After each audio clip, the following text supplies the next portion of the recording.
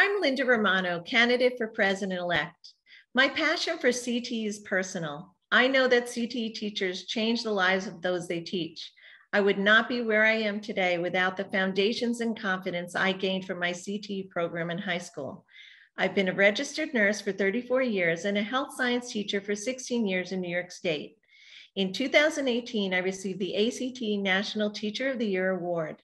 In 2019, my program was recognized as a model CTE program for New York State.